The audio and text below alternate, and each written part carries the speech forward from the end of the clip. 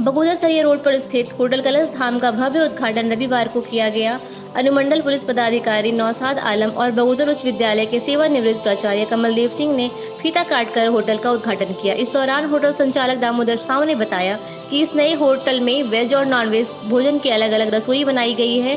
इसके अलावा रेस्टोरेंट और आवासीय सुविधा भी उपलब्ध है। बताया कि इलाके में हरियर धाम मंदिर समेत कई ऐसे महत्वपूर्ण स्थान हैं जहाँ पर्यटक दूर दूर से आते हैं। ऐसे में होटल कलश धाम में उनके रहने के लिए भी पैकेज विशेष रूप से उपलब्ध कराया गया है। बताया गया कि होटल में अत्याधुनिक साज सज्जा से सुसज्जित कमरे fine dining restaurant air conditioning banquet hall lawn banquet hall आदि की सुविधा है। अतिथियों ने होटल की व्यवस्थाओं, साज सज्जाओं एवं उच्च श्रेणी की लग्जरी सेवाओं की प्रशंसा की।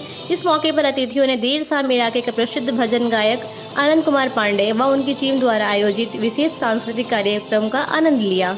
देर रात तक होटल में अतिथियों का आना लगा रहा। अतिथियों में पूर्व विधायक नागेंद्र महतो, जीप सदस्य सैक तैयब, पूर्व मुखिया डॉक्टर शशिभूषण सरिया प्रमुख रंजीत मंडल समेत बगोदर और सरिया के गणमान्य नागरिक बड़ी संख्या में उपस्थित थे। अंत में होटल के चेयरमैन दामोदर साव ने अतिथियों का धन्यवाद किया।